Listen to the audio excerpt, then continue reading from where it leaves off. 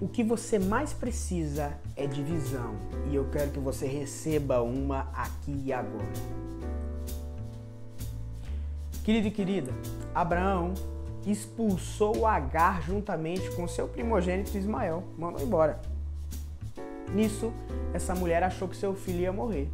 Estava no meio do deserto, apenas com um cântaro de água e um pão, e chegou uma hora que a água acabou, chegou uma hora que o pão acabou, então ela estava no meio do deserto sozinha com uma criança, ela pensou, meu filho vai morrer. Ela se afasta do filho dela na distância de um arco de flecha e o filho dela começa a chorar. Nisso veio o anjo de Deus e falou com ela. Falou, ó oh, querida, teu filho não vai morrer. E abriu os olhos dela e ela começou a ver uma fonte de água. Querido, deixa eu dizer uma coisa para você. Naquele mesmo lugar em que ela só via morte, um anjo de Deus tocou os olhos dela e ela passou a ver vida. Eu vou dizer uma coisa para você: você não precisa sair da geografia que você está. O que você precisa é para que Deus abra os seus olhos e você comece a ver a oportunidade, comece a ver fonte de água onde você está. Tem pessoas reclamando de tudo, do pai, da mãe, da casa que está, do emprego que está, de tudo que está acontecendo, mas o que você precisa hoje clamar a Deus é para que você enxergue a oportunidade porque ela existe. Eu vou dar uma palavra para você.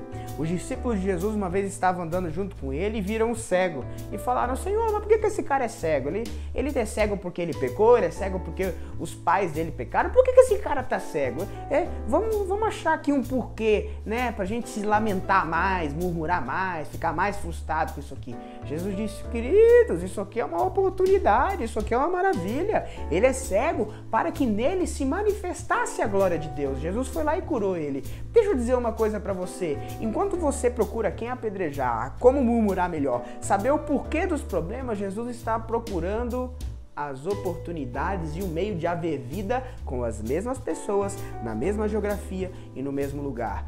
Quantas vezes vários guerreiros passaram pelos amargurados de espírito que Davi encontrou na caverna de Adulão?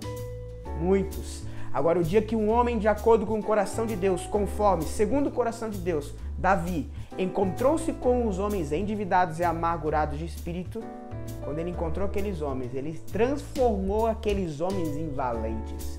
Deixa eu dizer uma coisa para você. Você pode mudar toda uma geografia. Nem sempre é necessário sair da onde você está.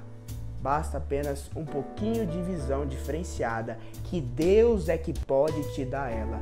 Hoje eu oro em nome de Jesus, que Deus abra os olhos e aonde você achou que ia ser o seu fim, o fim da sua casa, o fim da sua vida, hoje Deus te mostra um poço que vai fazer você ser um grande guerreiro e vai te dar a vitória. Que Jesus te abençoe. Se essa mensagem falou contigo, se inscreve aqui no canal, deixa um comentário aqui, ativa o sininho e com certeza Deus vai te abençoar poderosamente em nome de Jesus.